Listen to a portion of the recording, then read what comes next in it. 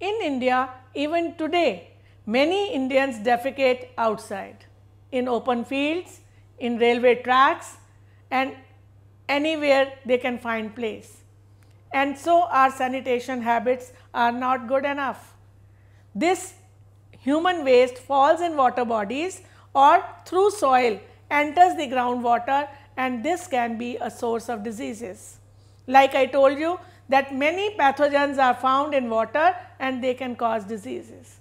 In slum areas the diseases are more because their drains are open, they are filthy, they do they are not educated, literate, so they don't their habits are not correct habits and the result is that they fall sick more often than others. So, sanitary habits are very important. You know in India we have some very good habits also like we have this habit of washing hands and cleaning ourselves with water and soap. This is something very good and this should be retained. But the bad habits like defecating outside should be avoided. That is not a good thing because that can pollute water. Now, in places like hospitals or melas and fairs and wherever there is a large gathering, there these things have to be more clearly demarcated because many times just a pit is dug and everybody is using that pit. Now, that can also be a source of infection. If one person has infection, it can be passed on to others.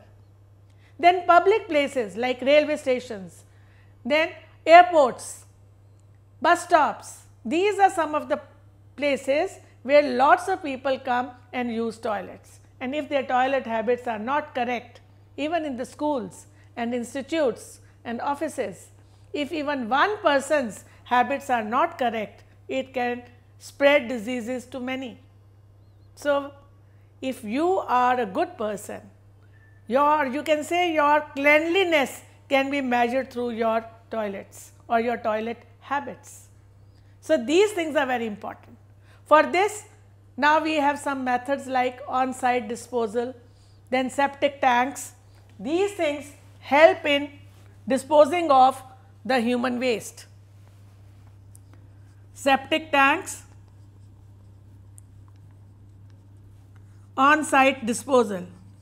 In on-site disposal, scavenging is not required and directly the waste through covered drains goes to the biogas plant.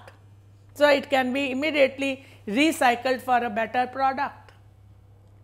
So, wherever you are whether at home or outside your home if you are using toilets please be very very careful and leave it the good sense is that always think that I must leave the toilet in a condition that when the next person comes, it is usable, clean and above all hygienic.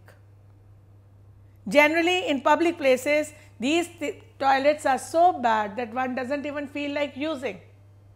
But then question is, who has spoiled them? People like you and me? If we were all careful and if we were all doing our own duty, and if you are outside, if you were using Sulabh Shauchalayas or other proper places, then this kind of thing will not happen.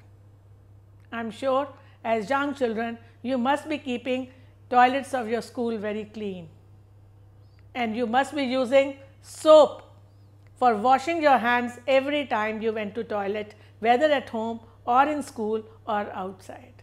It is very important to keep yourself healthy and your community healthy.